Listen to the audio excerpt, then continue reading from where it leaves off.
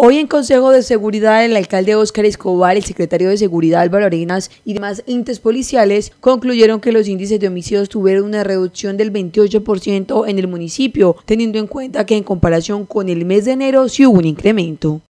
Hay, hay, un balance muy positivo, a pesar de que el mes de febrero presentó una dinámica en homicidios más alta que el mes de enero. Eh, la cierta es que al día de hoy mantenemos una reducción de más del 20% en homicidios, tenemos una reducción de alrededor del 33% en hurto común y del 55% en hurto a vehículos. Eh, hay unos resultados muy importantes que se han dado por parte de todas las fuerzas eh, y por supuesto estamos trabajando de forma articulada, por ejemplo, para que tengamos un comité de hurtos que nos permitan no solo reducir el hurto, no solo capturar, sino desarticular organizaciones criminales. Así que en eso vamos a estar trabajando muy fuertemente.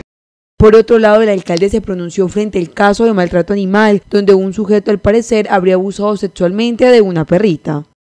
También, por ejemplo, el caso de la perrita que fue violada eh, en días anteriores. En este caso, la fiscalía ha sido clara, dice que la ley no le permite, eh, digamos, meter inmediatamente a esta persona a la cárcel o, en detención preventiva, como se llama, pero digamos que hemos llegado a un compromiso en el cual eh, la fiscalía va a proceder con la imputación de cargos en este mismo mes, que es lo que puede hacer para que la investigación y la judicialización se adelante lo antes posible. Por último, se refirió al caso de la captura de seis presuntos responsables del secuestro del ganadero Juan Manuel Domínguez, quien fue liberado en días anteriores.